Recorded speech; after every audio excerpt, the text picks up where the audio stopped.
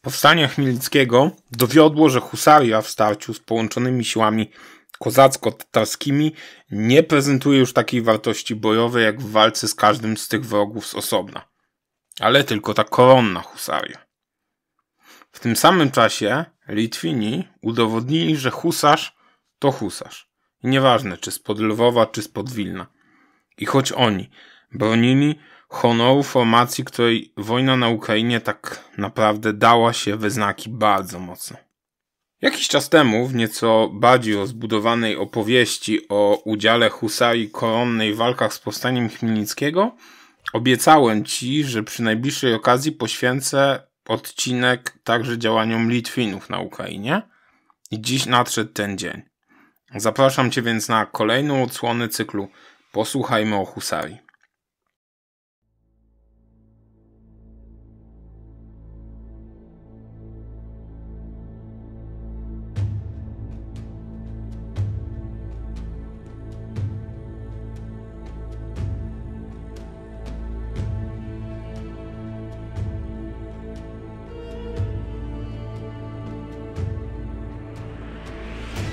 Słuchacie podcastu Dawid Siuta w historii, a to jest nowa seria Posłuchajmy o Husarii. Omawiam w niej temat, o który wielokrotnie prosiliście, a który teraz zgodnie ze swoimi obietnicami dla Was nagrywam. W każdym z odcinków będę omawiał kolejny etap rozwoju skrzydlatej jazdy. Ikony polskiej wojskowości i symbolu największych zwycięstw. Zapraszam więc do słuchania moich opowieści. Posłuchajmy o husarii.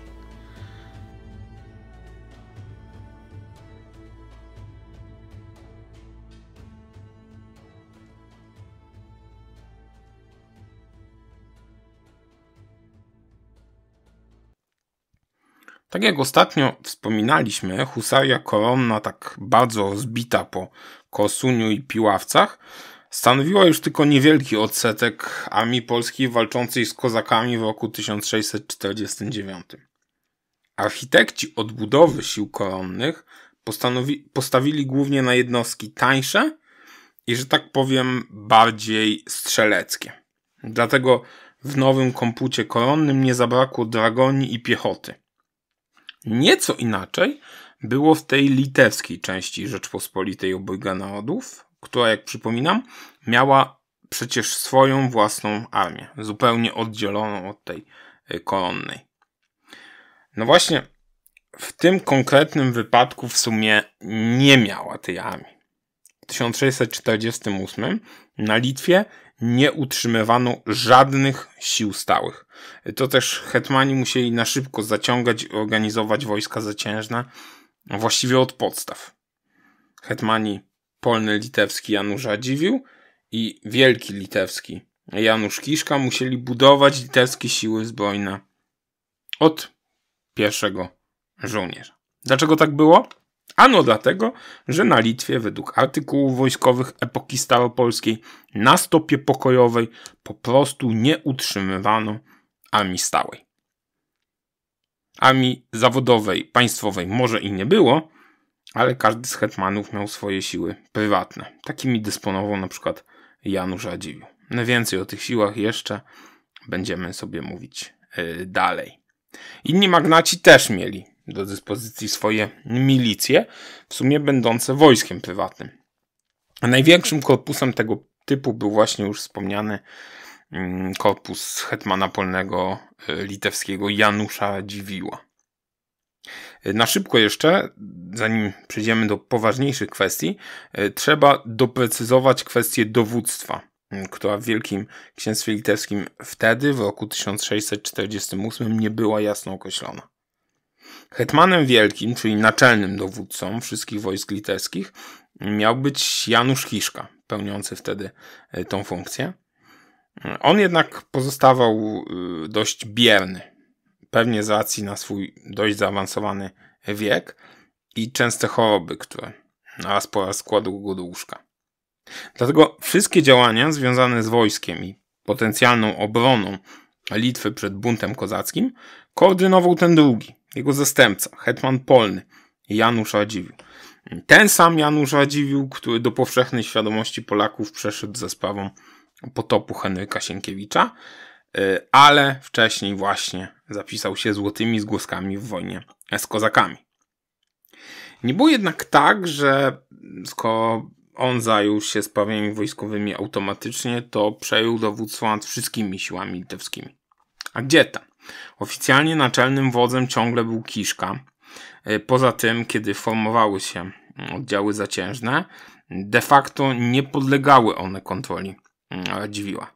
Ponieważ na ogół zaciągały je sejmiki ziemskie, to te oddzieliki podlegały właśnie tymże sejmikom. Ponadto każdy z takich chorągwi miała własnego rotmistrza.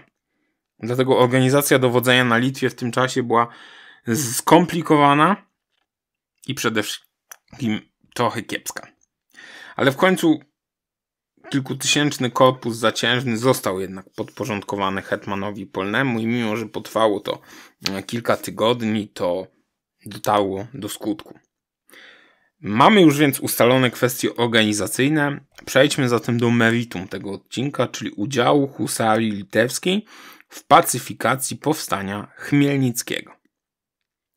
Jesteśmy w roku 1648. Same doniesienia o tym, że na Ukrainie wybuchło kolejne powstanie mm, kozackie, nie wywołały w Litwinach właściwie żadnego niepokoju. Przecież bunty kozackie to nie było nic nowego. One się zdarzały. Z kolei y, klęski sił koronnych nad żółtymi wodami, czy potem pod Korsuniem, Litwini złożyli na karp nieudolności hetmanów koronnych. W powszechnej opinii magnatów litewskich zagrożenia ze strony kozaków właściwie nie było, a jeśli jakieś byśmy odszukali, to raczej było to zagrożenie bardzo niewielkie. Ale w końcu nadeszła informacja, która Litwinów przeraziła i to bardzo. Dopiero wieść o śmierci króla Władysława IV wywołała wśród senatorów Wielkiego Księstwa Litewskiego niemały niepokój. Dlatego szybko wzięto się do roboty, powzięto konkretne decyzje co do dalszej obrony i źródła podpowiadają nam, że decydenci litewscy może nie do końca zdawali sobie sprawę, jakie jest to zagrożenie kozackie, ale podejmowali zdecydowane działania. Tylko, że przez to, że nie zdawali sobie sprawy, jak wygląda to rzeczywiste zagrożenie kozackie, te działania były zbyt wąsko zakrojone. Na przykład podskarbi litewski Gedeon Tryzna uznał w 1948 roku, że do ochrony granic Wielkiego Księstwa Litewskiego wystarczy zaledwie 3000 żołnierzy, więc nie ma powodu zaciągać więcej. Ale ostatecznie, koniec końców, stronnictwo wojenne wzięło górę i zaciąg litewski okazał się znacznie wyższy. I w lipcu 1648 roku wystawiono około 5 tysięcy żołnierzy zaciężnych i około tysięczny korpus żołnierzy powiatowych. Ilu w ty, ile, ile w tych siłach było husarii? Tego do końca nie wiemy. Najprawdopodobniej tych husarzy było bardzo niewielu. Inaczej, sprawy przedstawiały się w chorągwiach prywatnych magnatów litewskich, gdzie skrzydlate roty były reprezentowane dość licznie.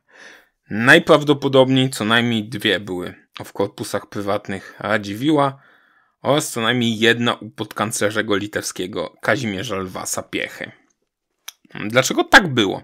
Dlaczego zawodowej husarii państwowej było tak mało, a w siłach prywatnych było i trochę więcej. Jeśli nie wiadomo o co chodzi, to zwykle chodzi o jedno o pieniądze.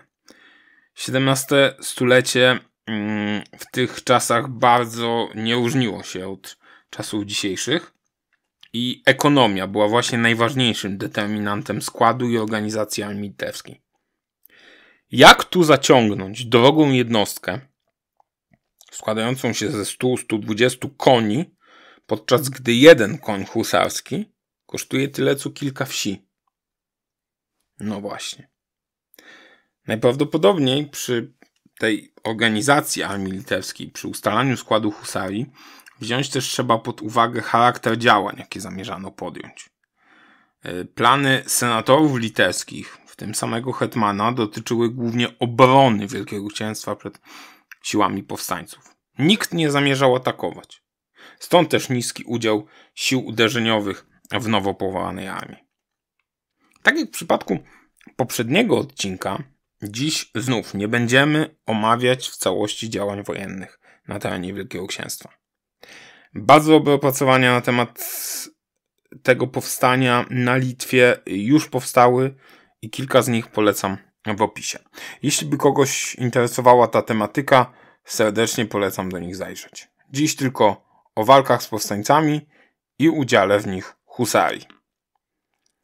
A walki z powstańcami Chmielnickiego trwały na Litwie już od lipca 1648 roku.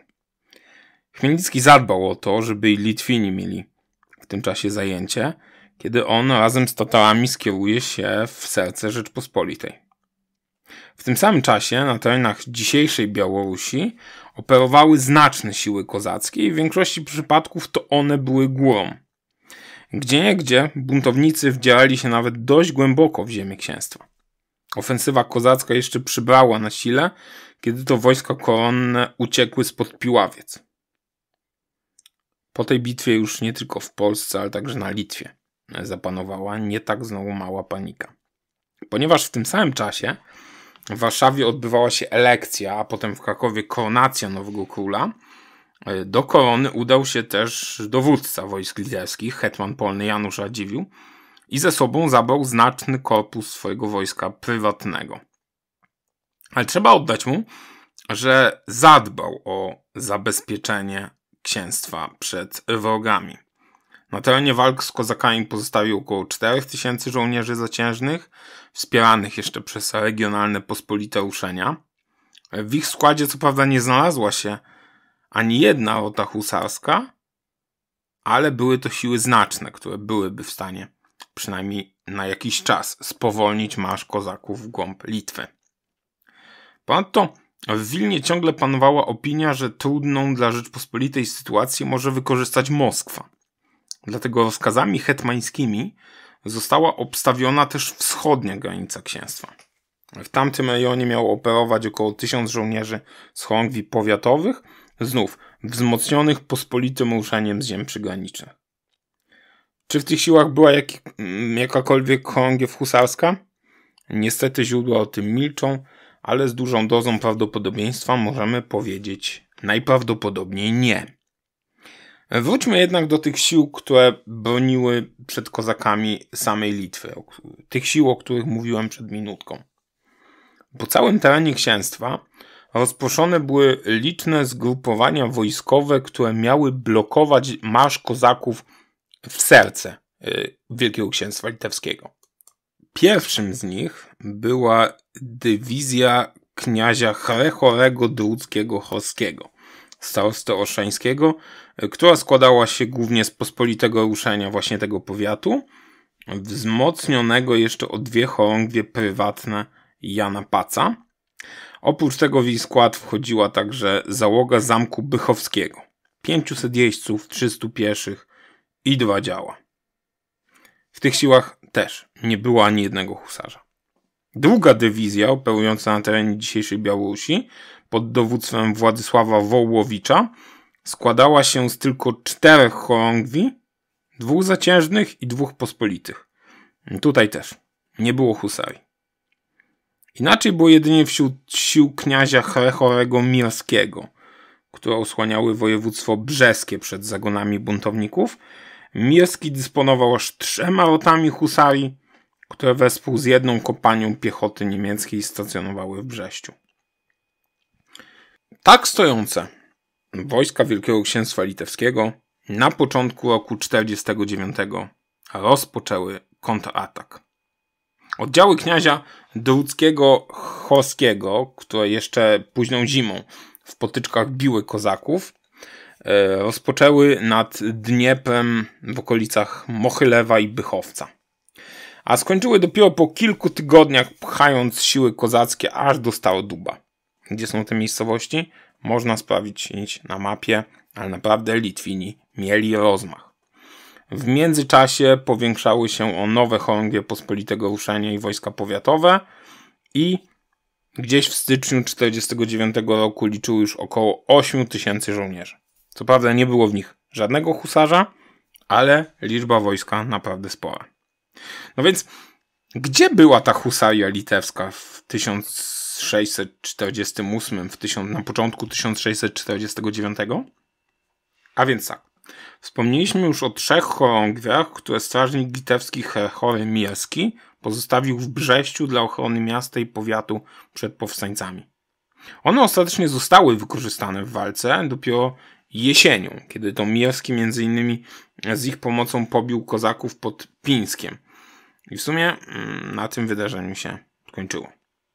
Jak więc widzisz, udział skrzydlatej jazdy w walkach Litwinów z powstańcami na przełomie 48 i 49 roku y, tak spektakularny nie był. Przynajmniej na początku tego powstania, bo to miało się zmienić. Na początku 49 roku na Litwę z koronacji w Krakowie powrócił hetman polny Janusz Radziwiłł. I na tamten moment to on został naczelnym dowódcą armii litewskiej. De jure co prawda był nim król, jako wielki książę, czyli nowo wybrany mm, władca Jan Kazimierz, ale tego nie było przecież na miejscu.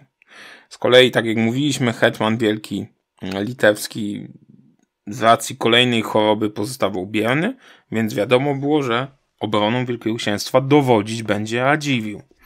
Stąd też właśnie de facto to on objął e, naczelne dowództwo i zaraz po Sejmie elekcyjnym i późniejszym Sejmie koronacyjnym postanowił kontratakować.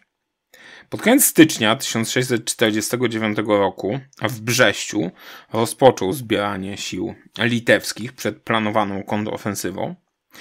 Na pograniczu Polesie i Wołynia siły te gromiły niewielkie zagony powstańcze, które szalały w tym regionie. Yy, jeszcze jedna mała dygresja. O czym myślę, kiedy mówię powstańcze? Tak naprawdę do kozaków szybko przyłączali się też litewscy chłopi, którzy tak chcieli wyładować swoją agresję wobec szlacheckich panów. Dlatego siły powstańcze na Litwie to niekoniecznie były siły kozackie. Wracając jednak do meritum. Janusz Radziwiłł na przełomie stycznia i lutego 1949 roku dysponował dość szczupłymi siłami zaciężnymi, wzmocnionymi tylko właśnie przez wspomniane już chorągwie powiatowe czy pospolite ruszenie. Wśród tych w sumie 4,5 tysiąca żołnierzy znajdowało się około dwie roty husarskie. Dlaczego mówimy około? Bo prawdopodobnie obie pochodziły z, yy, z sił prywatnych Janusza Radziwiła. To w jego chorągwiach hetmańskich utrzymywanych jego sumptem się znajdowały. Dlatego dokładnie nie wiemy ile ich było.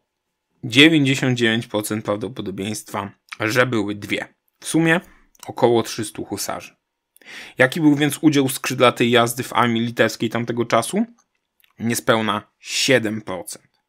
Mało jak na połowę XVII wieku, ale jak już dowiedliśmy ostatnio, były to znaki czasu. Rozpoczęty w pierwszych dniach lutego 1649 roku Pochód wojsk litewskich miał jedno proste zadanie zdusić powstanie Chmielnickiego na ziemi litewskiej.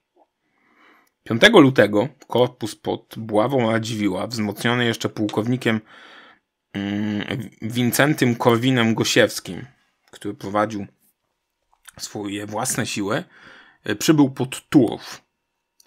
W tym miejscu Litwini pozostawili tabory i komunikiem ruszyli pod Mozyż, Hmm, ci na przedpolach Mozerza rozbili awangardę wojsk litewskich, jednak pod naporem całości siła dziwiła cofnęli się do miasta, licząc pewnie, że siły Rzeczpospolitej raczej nie podejmą się szturmu.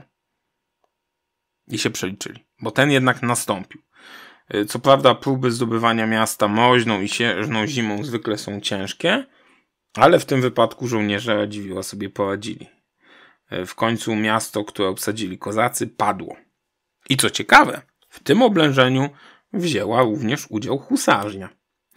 Te dwie chorągwie, o których mówiliśmy, te, które prowadził hetman, nie walczyły jednak w typowy dla siebie sposób, ale przed samym szturmem husarze zostali spieszeni, odrzucili ciężkie i długie uzbrojenie i jako piechota, często dysponując bronią palmą, palną, wzięli udział w szturmie.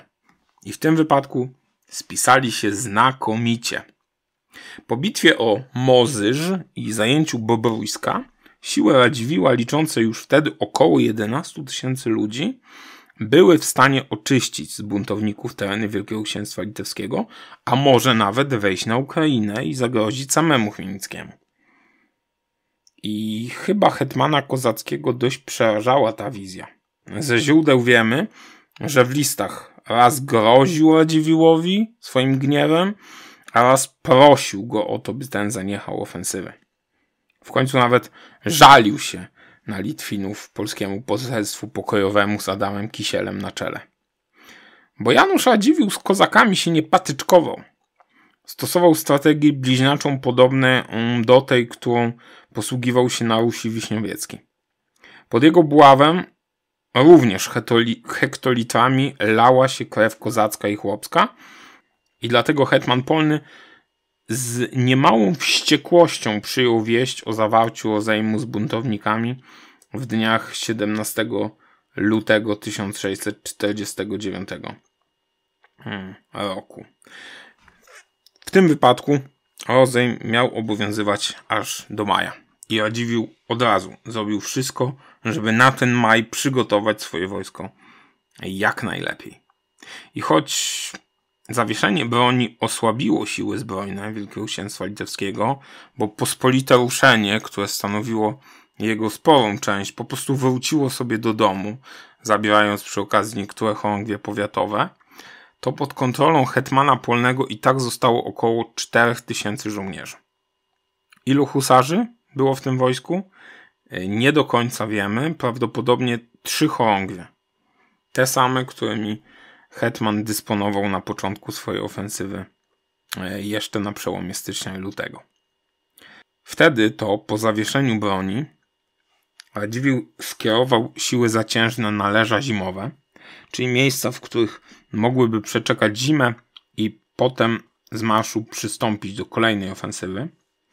E, ponieważ hetman polny zamierzał przede wszystkim osłonić jak największy teren Wielkiego Księstwa. Zatem armię litewską podzielił na trzy pułki, które rozlokował wzdłuż Dniepru i Prypeci w ten sposób, by jak największy teren księstwa został mm, zabezpieczony. Z kolei zrobił to również po to, by w razie wznowienia działań wojennych mógł szybkim manewrem i to z wykorzystaniem drogi wodnej zaskoczyć siły buntowników. Generalnie Radziwiłł podczas tej wojny często udowadniał, że jest wielkim entuzjastą wojny manewrowej i potrafi wykorzystać dla jej potrzeb wszelkie możliwe środki. Także drogi wodne, którymi bardzo często przerzucał swoje oddziały.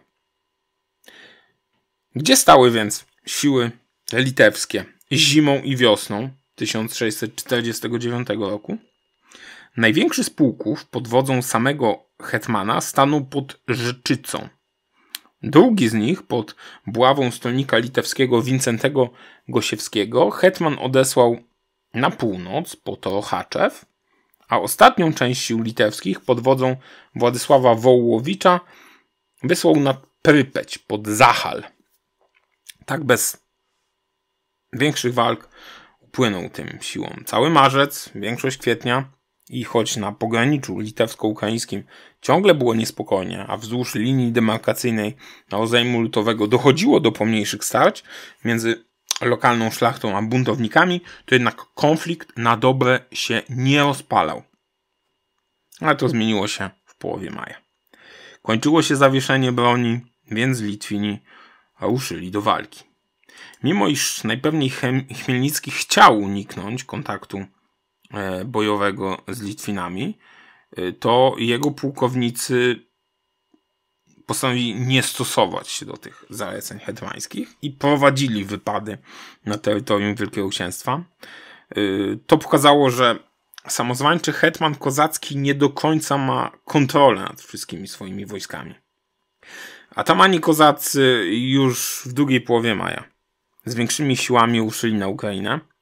Y, z kolei w czerwcu sam Chmielnicki zmienił zdanie i postanowił zastosować uderzenie wyprzedzające i zaatakował siłę Radziwiła, nim ten wejdzie na Ukrainę. Pułk Eliasza Hołoty, który wysłał w tym celu mm, w serce Wielkiego Księstwa, liczył około 3000 piechoty, jakieś 100 jezdnych i jakieś 4000 uzbrojonego chłopstwa.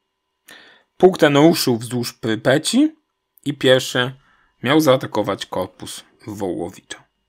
I Litwini odpowiedzieli zdecydowanie. Do pierwszej bitwy tego wznowionego konfliktu doszło jednak dopiero w połowie czerwca, pod Zachalem właśnie, tam gdzie stały siły Wołowicza. Yy, oczekujące tam siły litewskie, liczące jakieś 1700 żołnierzy, yy, w tym 7 chorągwi pancernych, zwanych też kozackimi, czyli tak, takiej średnio zbrojnej jazdy, około 1000 koni, dwa konety dragoni, i dwie kompanie piechoty cudzoziemskiego autoramentu. Pod nieobecność samego Wołowicza dołodził nimi kapitan dragoni Walerian Falencki. Oddziały te okupały się w mieście Zachal i w obozie na przedpolach miasta. Tam kilkakrotnie odpierały kozackie szturmy. Przewaga liczebna atakujących powodowała jednak, że sytuacja żołnierzy Wielkiego Księstwa stała się naprawdę ciężka. Jednak w pewnym momencie na odsiecz Polakom i Litwinom niespodzianie przybyły posiłki wysłane spod Rzeczycy przez strażnika litewskiego Chorego Mierskiego. Odsiecz ta liczyła około 150 dragonów, jakieś 200 piechoty niemieckiej. Niby niewiele, ale fakt, że siły te weszły na tyły szturmujących Zachel kozaków, dał naprawdę dużo. Siły buntowników poszły w rozsypkę, a wtedy do szarży rozwinęły się roty pancerne i dragonia Wołowicza i wzięci w kleszcze buntownicy zostali bardzo szybko rozbici. Ponoć w tym starciu zginęła ponad połowa kozaków, którzy w ogóle szturmowali Zachal. A jakie były straty polskie? 216 żołnierzy. I to, co nas interesuje najbardziej. Udział husarii w tej bitwie wyniósł okrągłe 0%. Po prostu nie było jej na polu bitwy. Tak samo nie było jej pod Rzeczycą, gdzie wspomniany już Chory Mierski rozbił pułk kozacki pułkownika Petra Głowackiego. Zwycięstwa w tych bitwach nie oznaczały jednak końca wojny i była nadzieja, że husaria w końcu pokaże swoje możliwości. Sytuacja w, obozie, w obozach polskich mm, rozsianych po całym Wielkim Księstwie była jednak e, coraz gorsza. Zaczynały się kończyć zapasy żywności i prochu, które zabrano ze sobą na leża zimowe i do planowanej kontrofensywy. E, z uwagi na te fakty, a także na zagrożenie ze strony kozaków, które, którzy po raz kolejny naruszyli na terytorium Wielkiego Księstwa, postanowił się ruszyć sam hetman polny Janusz Radziwiłł. Na przełomie czerwca i lipca poprowadził około 6 tysięcy żołnierzy. Z rejestrów wojskowych i listów hetmańskich wiemy, że pod rozkażami książęcymi znalazło się wtedy 822 husarzy w sześciu rotach. Część z nich była oczywiście zaciągami prywatnymi, samego hetmana, księcia Bogusława Radziwiła czy Aleksandra Pałubińskiego, których oczywiście wszyscy spotkamy później jeszcze w potopie Henryka Sienkiewicza, ale spotkamy ich też w naszej opowieści. Jaki był więc całościowy udział husarii w tej armii? Niespełna 14%.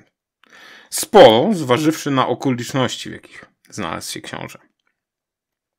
Cel główny Radziwiła był wtedy jasny pobić kozaków na pograniczu, a potem wejść na Ukrainę i uderzając na Kijów, znieść bunt w samym zarodku, w samym jego centrum. Maładziwił na pewno planował uderzenie na Kijów, będący symboliczną kwaterą główną powstania. Taką trasę też obrał, co pokażą jego kolejne działania. W pierwszej połowie lipca, kiedy to olbrzymia armia kozacko-tatarska obległa siły koronne w Zbarażu, Chmielnicki, obawiając się właśnie tego scenariusza, obawiając się o los swoich tyłów, wysłał na Litwę sporej wielkości korpus pod wodą pułkownika Michała Krzyczewskiego. Według danych podawanych przez historyków mógł on liczyć około 12 tysięcy żołnierzy nawet. O tym Hetman nie wiedział. I kiedy to maszerował ze swoimi siłami wzdłuż Dniepru z Rzeczycy wprost na Łojów, który w tym czasie był zajęty przez siły powstańcze pod wodzą pułkownika Podobajły, mógł natknąć się na te siły kozackie, nawet o tym wcześniej nie wiedząc. Widzimy więc, że wywiad litewski trochę zawiódł w tamtym czasie. Dlaczego akurat na Łojów maszerował jednak hetman Radziwiłł? Nie brał on nawet pod uwagę marszu na południowy zachód na odsiecz oblężonemu Zbarażowi. E, robiły to już zresztą siły koronne pod rozkazami samego króla, ale wątpliwe przede wszystkim, by Litwini mogli tam dotrzeć na czas.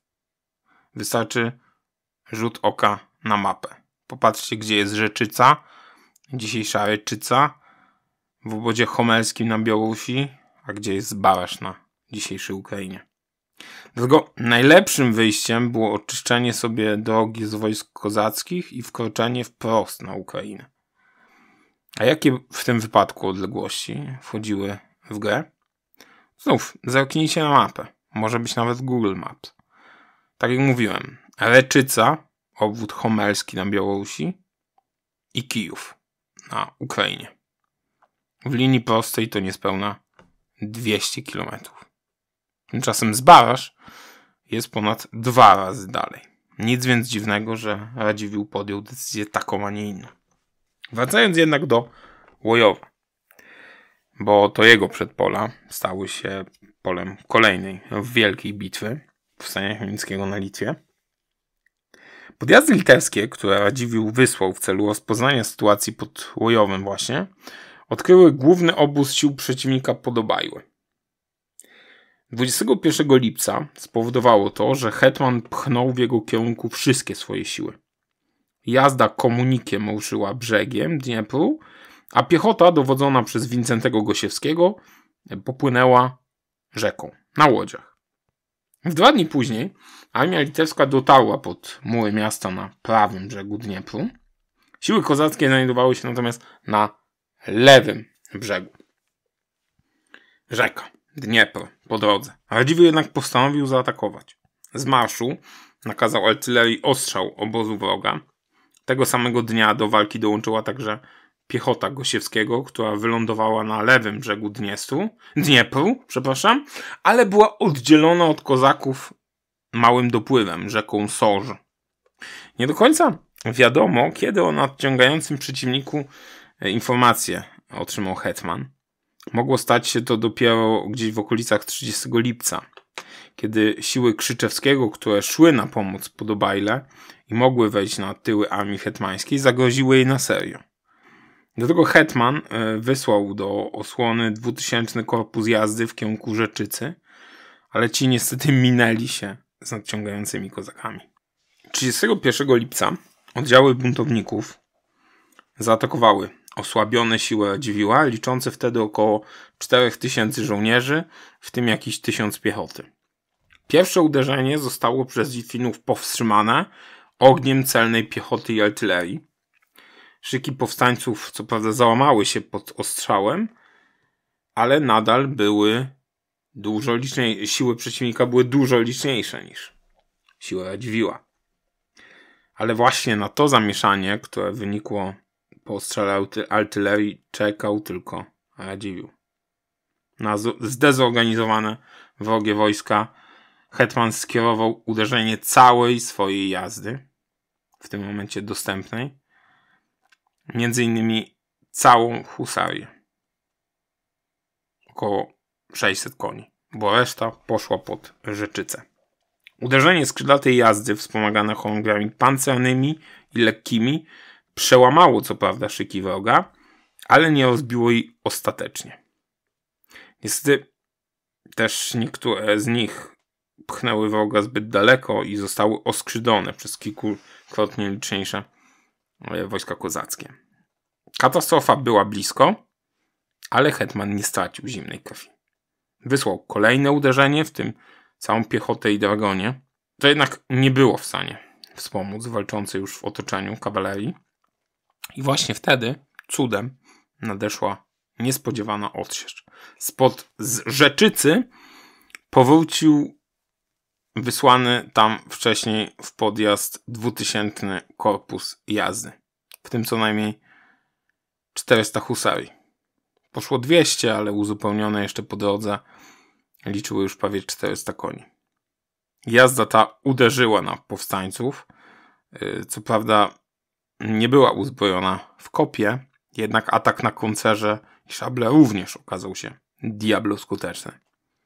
Niewątpliwie udział w przełamującej sile uderzenia, które dosłownie rozerwało szyki kozackie, na pewno odegrała też jazda pancerna chorągi tatarskiej i dragonia, która też do szarży poszła jako jazda, ale to właśnie husaria szła na przedzie tej szarży. Na tym skończył się też udział husarii w całodziennej bitwie pod Łojowem, która zakończyła się świetnym zwycięstwem wojsk pancernych. A jak ocenić jej udział? Jak ocenić udział husarii w tej bitwie? Jej stosunek liczebny wobec wszystkich sił pod komendą Radziwiła wahał się w okolicach 15%. Za to wśród jazdy wysłanej pod Rzeczycę husaria stanowiła już jakieś 20%. A wkład skrzydlatej jazdy w przebieg i rozstrzygnięcie bitwy możemy chyba określić jako o wiele bardziej znaczny. Co najmniej dwukrotnie szarżowała ona na wroga, a w końcu wzięła udział w uderzeniu, które zmieniło losy tych walk. Jednak, tak jak już mówiliśmy poprzednio, ciężka jazda traciła na znaczeniu kosztem dragonii i aitarii, czyli jednostek bardziej mobilnych, tańszych w utrzymaniu i bardziej strzeleckich. Jednak zdolność husarii do wyprowadzania uderzeń przełamujących nadal była imponująca. Mimo wielkiego sukcesu w bitwie pod Łojowem, siły litewskie hetmana Radziwiła dzień później wstrzymały swoją ofensywę. Mimo rozkazu królewskiego książę nie przekroczył Dniepru i nie uderzył na Kijów. Niesubordynacja? Niekoniecznie. Powody tej decyzji mogą być bardziej prozaiczne. Pojmani kozacy w tamtym czasie donosili o kolejnym korpusie kozacko-tatarskim, który maszerował przeciwko Litwinom. Ponadto wojska Radziwiła dysponowały już tylko resztkami prochu. Kolejne walki w takich okolicznościach oznaczałyby proszenie się o kłopoty. Dlatego też Radziwił, nie chcąc zostawiać granic Wielkiego Księstwa e, bez żadnej osłony, w pierwszych dniach sierpnia cofnął się pod Rzeczycę. Tymczasem już 17 dni później Kolian Kazimierz podpisał ugodę zborowską z Tatarami, a kozacy zostali bez sojusznika i zakończyli działania wojenne. Pokój nastąpił, ale nie był to na pewno ani koniec powstania, ani koniec udziału w nim husarii.